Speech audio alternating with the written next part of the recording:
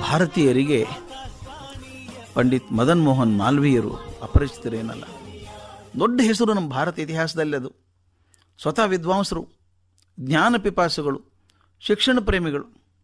ಅವ್ರು ಅಂದ್ಕೊಂಡ್ರು ಕಾಶಿಯಲ್ಲಿ ಒಂದು ಮಹಾವಿಶ್ವವಿದ್ಯಾಲಯ ಕಟ್ಟಬೇಕು ಅಂತ ಸಂಕಲ್ಪ ಮಾಡಿಕೊಂಡ್ರು. ಕಲ್ಪನೆ ಮಾಡಿ ಸ್ವಾಮಿ, ಒಂದು ಸಂಸ್ಥೆ ಕಟ್ಟಬೇಕು ಅಂದ್ರೆ ಎಷ್ಟು ಕಷ್ಟ ಇದೆ. ಕೈಯಲ್ಲಿ ಒಂದು ಕಾಸು ಇಲ್ಲದೆ ಒಂದು ವಿಶ್ವವಿದ್ಯಾಲಯ ಕಟ್ಟಬೇಕು ಅಂತ ಹೊರಟಲ್ಲ, ಇವತ್ತು ಕಟ್ಟೋದು ದೊಡ್ಡದಲ್ಲ ವಿಶ್ವವಿದ್ಯಾಲಯ. ಕಟ್ಟೋದು ಹೇಗೆ ಅಂತ ರೂಲ್ಸ್ ಇದೆ ರೆಗ್ಯುಲೇಷನ್ ಇದೆ, ಹಣಕಾಸು ಇದೆ ಜನರಿಗೆ. ಆದರೆ ಅವತ್ತಿನ ಕಾಲದಲ್ಲಿ ಆದರ್ಶ ಬಿಟ್ಟರೆ ಇನ್ನೇನೂ ಇರಲಿಲ್ಲ. ವಿಶ್ವವಿದ್ಯಾಲಯ ಕಟ್ಟಬೇಕು, ಆಗ ಇರಲೇ ಇಲ್ಲ. ವಿಶ್ವವಿದ್ಯಾಲಯಗಳೇ ಇರಲಿಲ್ಲ ಭಾರತದಲ್ಲಿ ಅಂಥದ್ದು. ಸಂಕಲ್ಪ ಬಿಟ್ಟರೆ ಇನ್ನೇನೂ ಇಲ್ಲ. ಹಣ ಅಂತೂ ಅವ್ರ ಕಡೆಯಿಂದ ಭಾಳ ದೂರ. ಪೈಸ ಪೈಸ ಕೂಡಿಸಿದ್ರು. ಎಲ್ಲಿ ಹೋದಲ್ಲಿ ಕೇಳಿದರು. ಹೇಳ್ತಾರೆ, ತಮಾಷೆ ಹೇಳ್ತಾರೆ. ಟ್ರೈನಲ್ಲಿ ಹೋಗ್ತಿರ್ಬೇಕಾದ್ರೆ, ಅವ್ನು ಟಿಕೆಟ್ ಇನ್ಸ್ಪೆಕ್ಟರ್ ಬರ್ತಿದ್ನಲ್ಲ. ಟಿಕೆಟ್ ಕೊಡಿ ಅಂತ ಕೇಳಿದರೆ, ಐದು ಪೈಸಾ ಕೊಡಿ, ಟಿಕೆಟ್ ಕೊಡ್ತೀನಿ ಅಂತಿದ್ರು ಇವರು. ನಾನು ಯಾಕೆ ಕೊಡಬೇಕು ಅಂತ ಅವ್ನು ಕೇಳಬೇಕು. ಅಲ್ಲಪ್ಪ, ಯೂನಿವರ್ಸಿಟಿ ಕಟ್ತೀರ ಐದು ಪೈಸಾ ಕೊಡೋ? ಅಂತ ಟಿ ಸಿ ಕಡೆಯಿಂದ ಇಸ್ಕೊಂಡು ಹೋಗ್ಬೇಕು. ಈ ಥರ ಯಾರ್ದು ಮುಲಾಜಿಲ್ಲದೆ ದಾಕ್ಷಿಣ್ಯ ಇಲ್ಲದೇನೆ ಮನಸ್ಸಿಗೆ ಬೇಜಾರು ಮಾಡ್ಕೊಳ್ಳೋದು ಕಲೆಕ್ಟ್ ಮಾಡ್ತಾ ಇದ್ರು, ಹೋಗಿ ಹೋಗಿ ಹೋಗಿ ಮಾಡ್ತಾ ಇದ್ರು. ಜೋಳಿಗೆ ಹಿಡ್ಕೊಂಡು ಹೋಗ್ಬಿಡ್ತಿದ್ರು.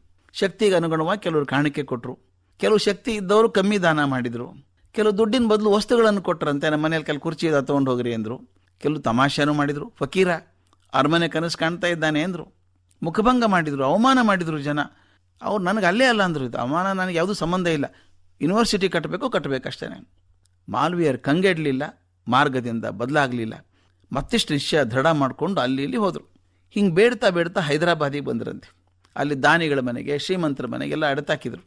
ಲೆಟ್ರ್ ಕೊಡೋದು, ದಯವಿಟ್ಟು ದುಡ್ಡು ಕೊಡಿ, ಎಷ್ಟು ಕೊಡ್ತೀರಿ ಕೊಡಿ ಅಂತ ರಿಸೀಟ್ ಅಲ್ಲೇ ಕೊಡಬೇಕು. ಯಾರೋ ಅವ್ರು ಕೇಳಿದ್ರಂತ ಅವ್ರಿಗೆ ಅಲ್ಲ ಸ್ವಾಮಿ, ಇಲ್ಲಿ ಬಂದಿದ್ದೀರಿ ಹೈದರಾಬಾದಿಗೆ, ಅವ್ರು ಇವ್ರನ್ನ ಯಾಕೆ ಕೇಳ್ತೀರಿ? ನಿಜಾಮ್ರಿದ್ದಾರೆ ಪ್ರಪಂಚದ ಅತ್ಯಂತ ಶ್ರೀಮಂತರಲ್ಲಿ ಒಬ್ಬರು ಅವರು ಅವ್ರ ಮನಸ್ಸು ಮಾಡಿದ್ರೆ ಒಬ್ಬರೇ ನಿಮ್ಮ ಇಡೀ ವಿಶ್ವವಿದ್ಯಾಲಯಕ್ಕೆ ಎಷ್ಟು ದುಡ್ಡು ಬೇಕೋ ಅಷ್ಟು ಒಬ್ಬರೇ ಕೊಡಬಲ್ರಪ್ಪ ಅವರು.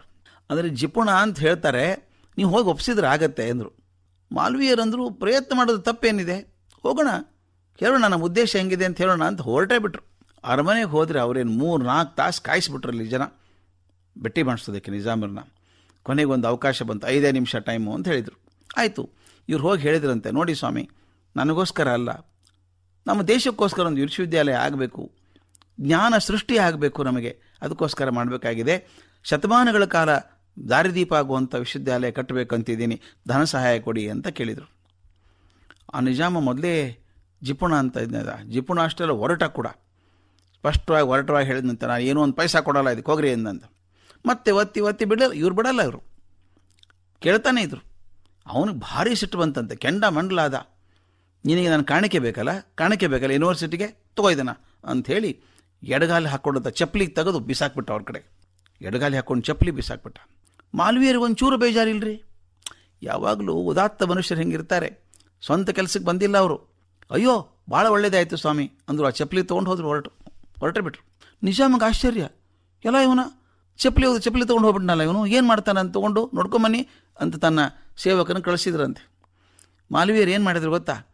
ಸೀದಾ ಬಂದರು. ಈಗ ಚಾರ್ ಮಿನಾರ್ ಇದೆಯಲ್ಲ ಮಾರ್ಕೆಟ್ ಪ್ಲೇಸು. ಅಲ್ಲಿ ನಿಂತ್ಕೊಂಡ್ಬಿಟ್ರು. ನಿಂತ್ಕೊಬಿಟ್ಟು ಕಟ್ಟೆ ಮೇಲೆ ನಿಂತು, ನೋಡಿ, ನಿಜಾಮರು ಕಾಣಿಕೆ ಕೊಟ್ಟಿದ್ದಾರೆ. ವಿಶ್ವವಿದ್ಯಾಲಯಕ್ಕೆ ಚಪ್ಪಲಿ ಕೊಟ್ಟಿದ್ದಾರೆ. ಇದನ್ನು ಹರಾಜು ಹಾಕ್ತಾ ಇದ್ದೀನಿ. ನಿಜಾಮರ ಪಾದದ ಮಚ್ಚೆ ಇದು. ಸುಲಭ ಅಲ್ಲ ಇದು. ಇದು ಅವ್ರ ಕಾಣಿಕೆ.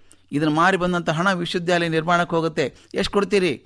ಐವತ್ತು ರೂಪಾಯಿಂದ ಶುರು ಮಾಡ್ತೀನಿ. ಶುರು ಮಾಡಿಬಿಟ್ರು. ಆ ವಿಷಯ ಕೇಳಿದಂತಹ ನಿಜಾಮನ ಸ್ನೇಹಿತ ಇದ್ದಾನಲ್ಲ. ವಾಪಸ್ ಓಡೋಗಿ ಹೇಳಿದ, ಸ್ವಾಮಿ ಮರ್ಯಾದೆ ಹರಾಜಾಗಿ ಹೋಗ್ತದೆ. ನಿಮ್ಮ ಚಪ್ಪಲಿ ಹರಾಜು ಮಾಡ್ತಿದ್ದಾನೆ ಮನುಷ್ಯ ಅಂತ.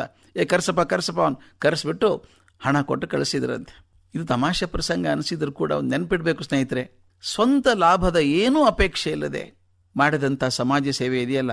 ಅದಕ್ಕೆ ಭಗವಂತನ ಸಹಾಯ ಖಂಡಿತ ಸಿಗ್ತದೆ. ಮತ್ತು ಅತ್ಯಂತ ಜಿಪುಣರ ಕಡೆಯಿಂದ ಕೂಡ ದುಡ್ಡು ಕೊಡಿಸ್ಕೊಡುತ್ತೆ ನಿಮಗೆ ಒಳ್ಳೆ ಕೆಲಸ ಮಾಡುತ್ತೆ. ಅದು ಅಲ್ಲದೆ ಇನ್ನೊಂದು ಹೇಳ್ತೀನಿ ಕೇಳಿ. ನನ್ನ ಮಾತಿದೆ ಒಂದು. ಕೈಗೂ ನಾಲಿಗೆಗೂ ತುಂಬ ಹತ್ತಿರದ ಸಂಬಂಧ ಅಂತ. ಯಾವತ್ತು ಸ್ವಂತಕ್ಕೋಸ್ಕರ ಕೈ ಚಾಚುತ್ತೀರೋ ನಾಲಿಗೆ ಬಿದ್ದು ಹೋಗುತ್ತೆ. ಮಾತಾಡೋ ಶಕ್ತಿ ಕಳ್ಕೊಂಡ್ಬಿಡುತ್ತೆ ನಾಲಿಗೆ. ಅದಕ್ಕೆ ದಯವಿಟ್ಟು ನಿಮಗೋಸ್ಕರ ಕೇಳುವಾಗ ಕೈ ಮುಂದೆ ಹೋಗದಿರಲಿ. ಮತ್ತೊಬ್ಬರಿಗೋಸ್ಕರ ಕೇಳುವ ಕೈ ಹಿಂದಿರು ಕೊಡೋದು ಚಾಚಬೇಕು.